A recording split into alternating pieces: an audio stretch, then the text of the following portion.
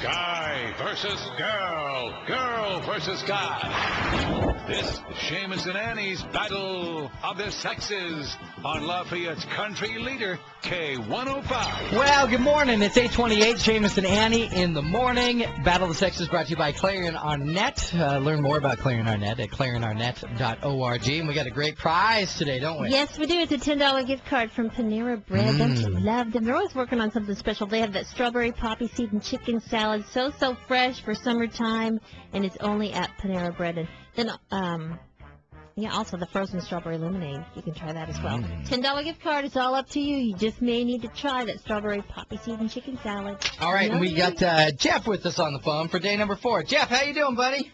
Oh, better than some, worse than others. How about yourself?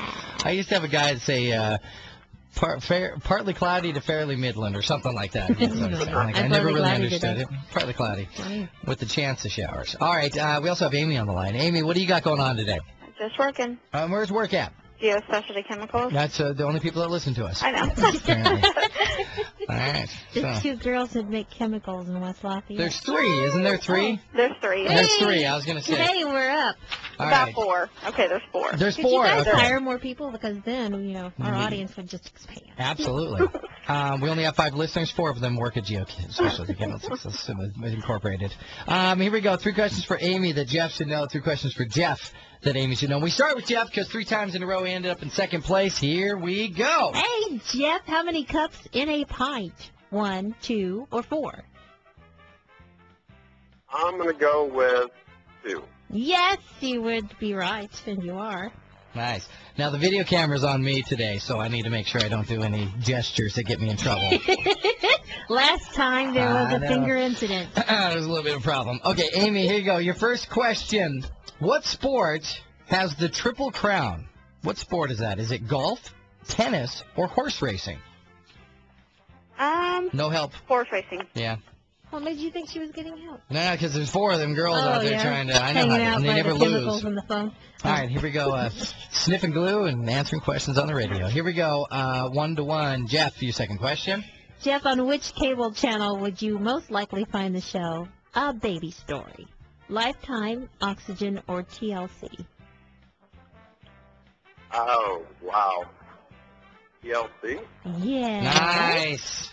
The Learning Channel. Haven't you ever watched that show? Oh, it's horrible. I used to cry every Oh, it's the worst show ever. It's the worst show ever. Don't watch it.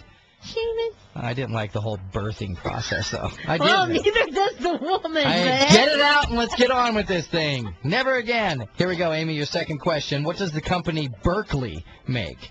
Berkley. Do they make truck tires, fishing gear, or concrete mix? Fishing. I think you're getting help. Okay, here we go. Two to two. I'm just kidding. That was exactly right. Two to two. Jeff, your third and final question. Jeff, if a plant is an annual, it grows back every year, lasts only one season, or lasts an entire year? Grows back every year. No, it lasts only one season. That is a trick question. Perennials come Oh. back every year. Annuals you have to plant annually. I know that's just, you know that's a green thumb uh, loophole there. Mm, Sorry. That's what. Here we go, Amy. Uh, it's your third and final question. Get it right, you win. Battle of the Sexes in the Panera Bread. Get it wrong, and we go to the bonus round. Amy, when does preseason NFL football start? Did it start last night?